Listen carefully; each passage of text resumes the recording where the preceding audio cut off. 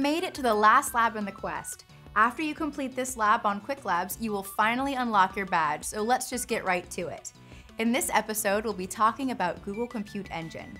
Google Compute Engine delivers virtual machines running in Google's innovative data centers and worldwide fiber network.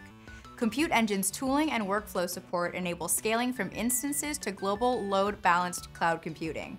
Compute Engine's VMs boot quickly, come with persistent disk storage, and deliver consistent performance. Our virtual servers are available in many configurations, including predefined sizes or the option to create custom machine types optimized for your specific needs. In this hands-on lab, you'll learn how to launch a Windows Server instance on Google Compute Engine and connect to it using the Remote Desktop Protocol.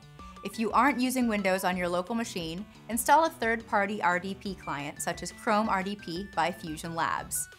One more thing that I personally love about Google Compute Engine is that our infrastructure is entirely carbon neutral. Our global network of data centers consume 50% less energy than the typical data center, and we purchase enough renewable energy to match 100% of the energy consumed by our global operations. We are growing our global data center footprint so your applications can run closer to your customers and distribute geographically for resiliency. I think that's pretty cool. And is this it? Is this the last lab on your quest? Congratulations! We want to hear from you.